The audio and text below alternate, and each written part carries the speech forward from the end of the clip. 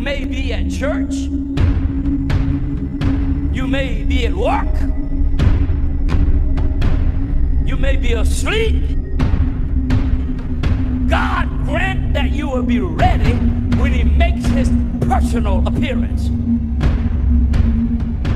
My God, what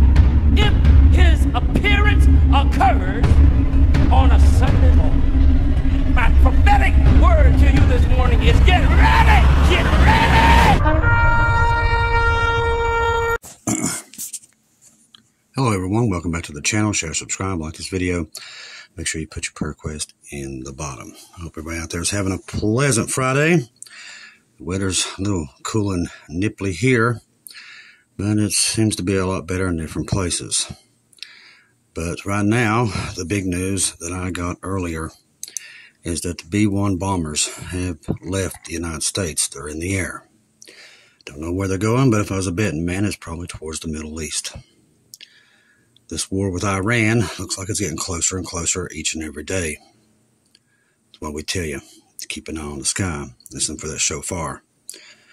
We know we can't be too far off with everything that's happening, but none of us is going to guess that day.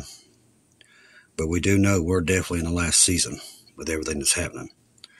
So everybody just kind of go, get as many people on that ark as possible. That's what I've been doing. I've been going to and fro, talking to different people, telling them about how little time they have remaining here. You know, I've had a lot of things on my mind, what I want to do and things I like to do. And I'm still, in the back of my mind, I know, well, I can go ahead and start doing things. But I've got to remind myself that while I'm doing it, is trying to get as many people on the ark as possible.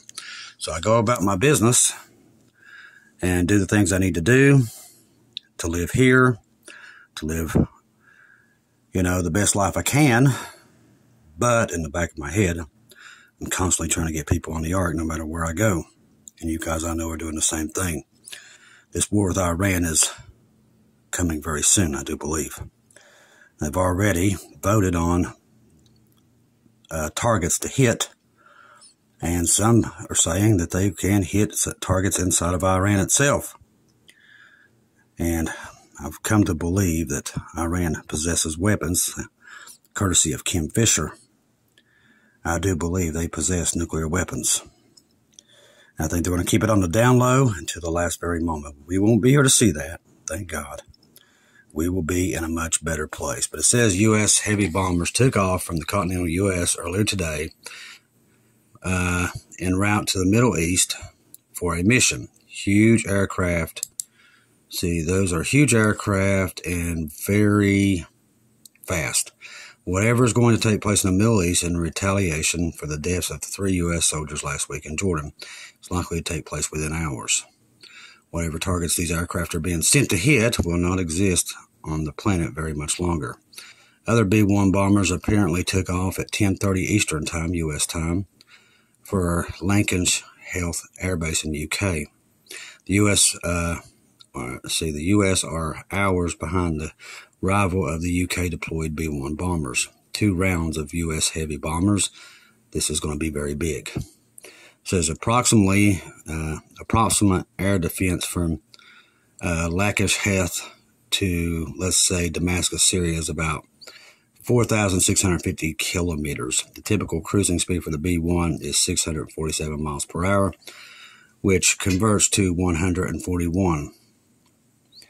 Uh, so if the B1 took off from UK is about 10:30 this morning, it's also hours from UK to Syria at the aircraft's typical cruising speed.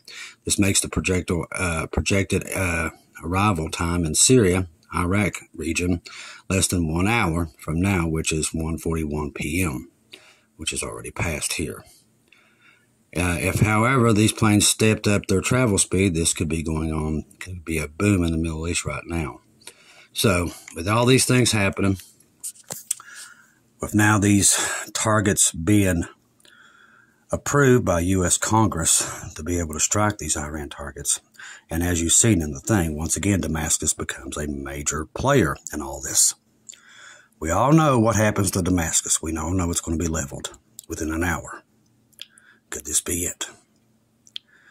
These are questions that we're asking ourselves each and every day because of the April 8th solar eclipse, which I think is a very important sign of what's coming. I don't know, but the more I think about it, this X that marks the spot of the United States is getting closer. What are we? Let's see, less than two and a half months from whatever is going to happen. And I do believe April 8th is a warning to America that that would be the downfall. That's when it starts. But we don't know that. That's not so saith the Lord. That's so saith Chris. And I can always be wrong because I'm a man and I make mistakes. But I am watching it along with many other watchers to see what God has warned us about when it comes to April the 8th. Many of us pray that it's the rapture itself. Heck, we pray that the rapture is tomorrow to get us off this planet because it's falling apart. But literally, I do believe with the numbers of the the last time this solar eclipse happened in the United States, the 6666, all the way up, um, the math, you can't make this stuff up, people. You can't make it up. All, and it just so happens that all this stuff's happening right before it what's happening with Israel, what's happening with us and Iran, us and Russia. It's not coincidence, people. People can keep saying coincidences all you want, but something's happening. And we know what it is. We're coming to the end, finally. Everything's lined up that way. Everything is. The question is, what side are you on? Trust the gospel, 1 Corinthians 15, 1 through 4. Jesus died on the cross for our sins, past, present, future, died, was buried, and rose again on the third day according to the scriptures. You're running out of time, but you got to trust the blood. The blood is the only thing that's going to get us out of here. And right now, the Christians are at war about the blood. It's a sad day. But me's going to tell you you can lose your salvation. You're going to do this. You're going to do that. Jesus doesn't let go of his. If you're His, He's going to hold on to you. God promised him you, He's taking you. You can bet on that. He knows where all His sheep is at every moment of the day. Ain't that awesome? Can I get an amen? So I want you to perk that little head up because the more we see, the better it looks for us getting out of here. Because the rapture is real and it is coming. And you are the generation that will absolutely a thousand percent see the rapture with your own eyes. That's right. You was placed in the most important time in history. And you guys have definitely heard the call and you stood up and you made a difference. So don't ever think you're not important in the whole scheme of this. That's why God brought you here. If you came to this channel, God brought you here to hear these words to know that you're doing a great job, that you're awake, and that's what's important. You don't have to be the richest person in the world, but I may tell you something right now as you hear me speaking. If you're awake, you're the wealthiest person in the world because there ain't many of us that are awake in these last days. And let me tell you something, most of the world is still absolutely asleep with everything that's happened and all the warning signs. They still sleep and slumber. So thank God today that you're not one of those. That makes us a very lucky few. Like Noah and his family, we know what's coming. And now we just get people on the ark and be ready.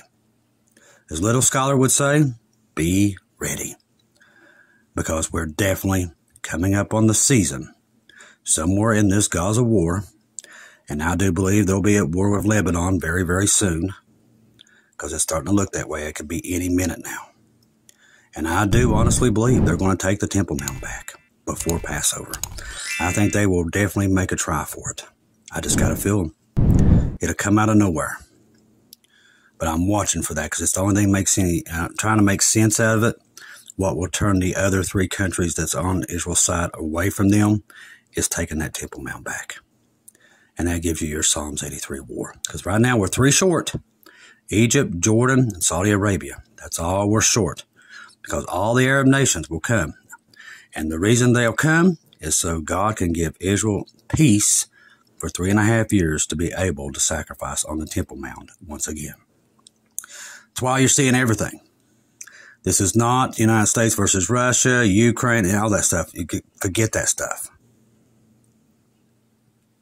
What you're seeing is a war between Lucifer and God Himself. And the chess pieces are on the, on the board. All you got to do now is watch them go back and forth. God's always 10 steps ahead. But right now, Lucifer is getting all his chips out there to get them lined up for the Antichrist. Because he knows what's happening. He knows this is his time. He knows. And that's why you're seeing so many strange and unusual things. Portals opening up, animals going in circles. You name it, it's all there. UFOs everywhere, all over the planet. Huge, some of them the size of 40 football fields. All this is playing into this latter day war between God and Lucifer. We already know who wins, but the millennial reign is right around the corner. Well, I said no man can fix the earth's problems now. Only the true King of all the Jews, the Messiah, the Lord Jesus Christ, Yeshua himself, is the only one that can fix the world. And he will very, very soon. I love each and every one of you. If I don't see or hear from you again, I'll see you in heaven.